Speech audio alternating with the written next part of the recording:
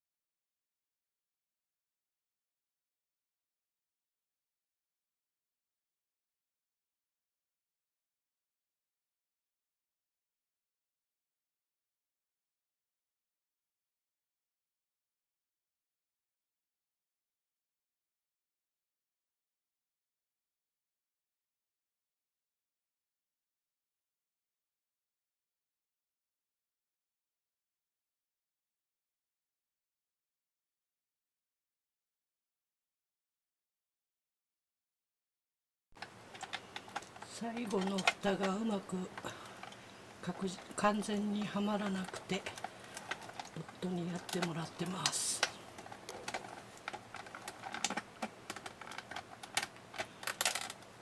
上の小さい爪が入りにくいでしょ？は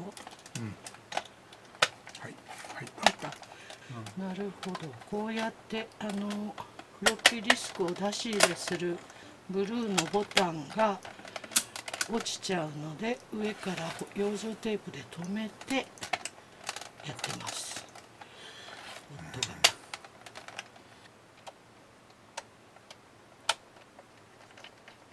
さあどうかなどうかな。これで起動してくれると嬉しいんだけど。これで起動すればベルトの問題ってことですよね。だろうね、一応やってみよう。赤谷町でももともと光らなかったんだけどね通電しても。これはあの通電してもこれはね電池があそうか。あのロー電池でないと光光らない。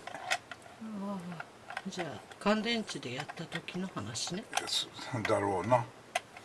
乾乾電池が入っていて少し少しだけ電流が流れてるけれどもこれを動かすのには足りないっていう時。ちなみにこのアメリカから来たやつはうんそうだな。電池でも試したけどダメでした。はい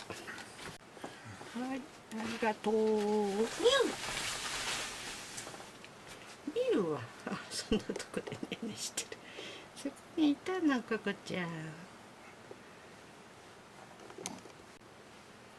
はいニューベルトを入れたお友達の、えー、FB100 でしたっけ？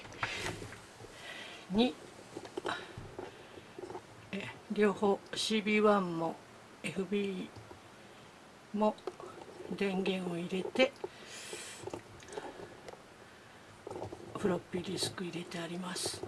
では試してみたいと思います。メニュー。これですね。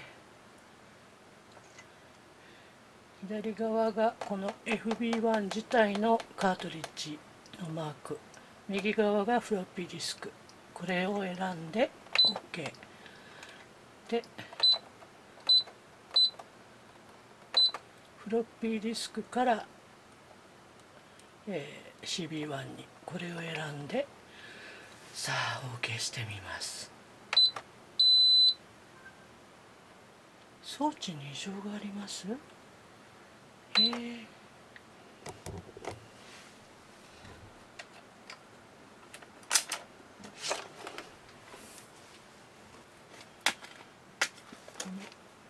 新しいフロッピーディスクを入れてフォーマットのメニューを選んでみようと思います。新しいフロッピーディスク入れます。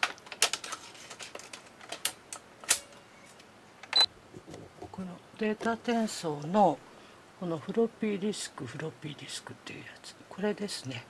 これを選んでみます。もうちょっと大きくしないと映ってないな。このマークです。お OK してみます。ディスク初期化。OK これ新しいディスクなのでこの、えー、このフロッピーディスクドライブ用に初期化をするということですね。フォーマットです。OK あら装置に異常があります。ということはベルトが原因ではないというベルト以外にも 原因があるということですね。うん残念です。あこれねこうやってオンにするとこうやって起動音がするんですよね。うん。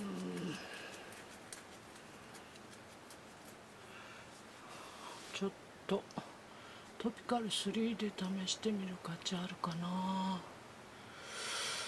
あとは小田原ミシンサービスさんに相談してみましょうか。ねえ動いてる。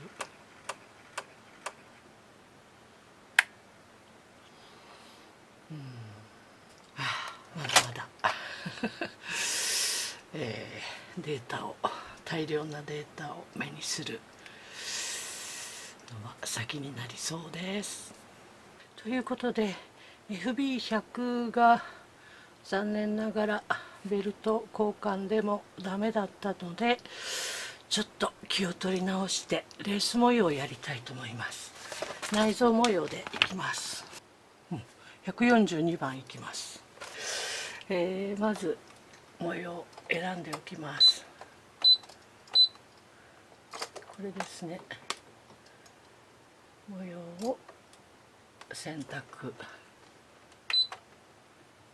で模様レース連続模様。で模様番号142で模様19って知らせてくれますね。これ左の端っていうことですね。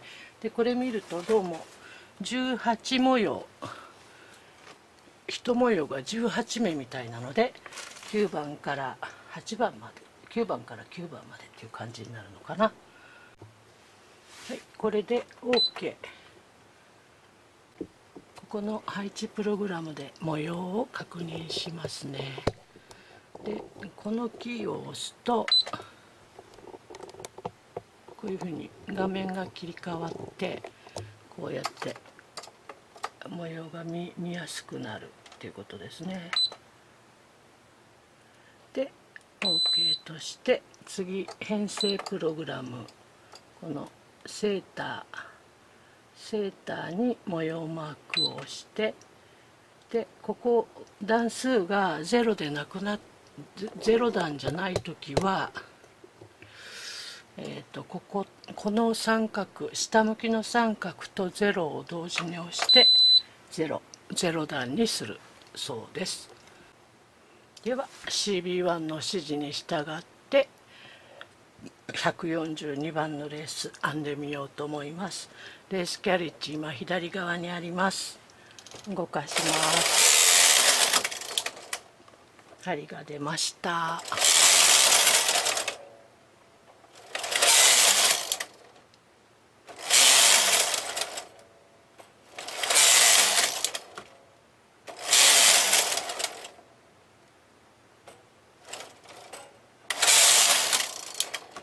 端が出たら引っ込めて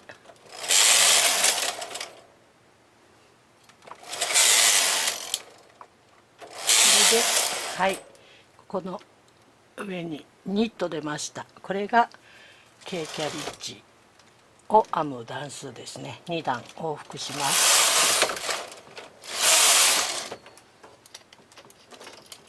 で重り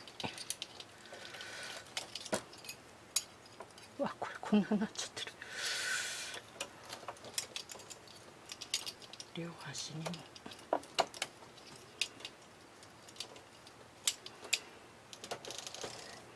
でえーっと K キャリッジを走らせて初めて段数がカウントされますね。今2段になりました。でこれでまたレース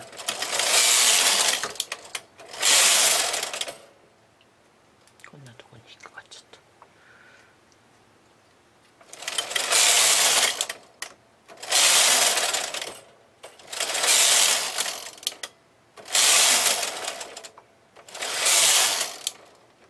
はい、次出ると思います。はい、ニート出ました。K キャリッジ2段。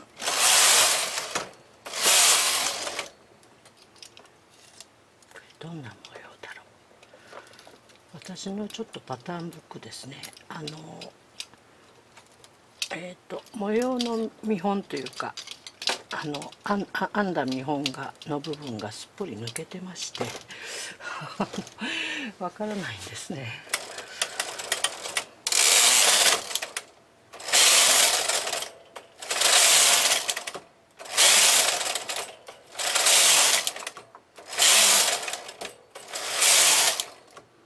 はい、次出ると思います。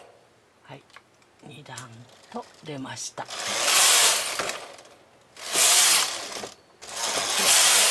K キャリッジを左に動かした時にこうやってちょっと目の確認を時々した方がいいですね。もうこれ大体このシビは見なくても結局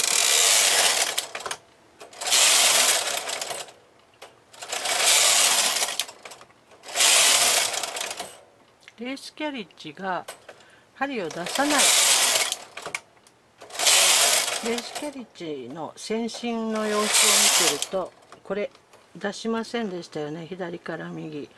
で右から左も出しませんでした。で見ると大体ここに K キャリッジのを編む指示が出てます。